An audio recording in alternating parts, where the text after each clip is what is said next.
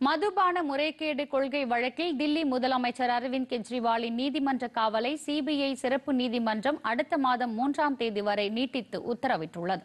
இந்த வழக்கில் கைது செய்யப்பட்ட தில்லி முதலமைச்சரும் ஆம் ஆத்மி கட்சி ஒருங்கிணைப்பாளருமான அரவிந்த் கெஜ்ரிவால் தற்போது திகார் சிறையில் அடைக்கப்பட்டுள்ளார்.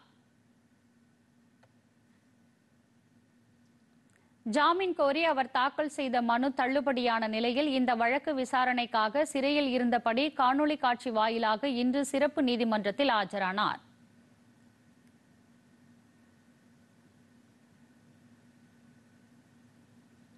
இதையடுத்து அவரது நீதிமன்ற காவல் செப்டம்பர் மூன்றாம் தேதி வரை நீட்டித்து நீதிமன்றம் உத்தரவிட்டுள்ளது.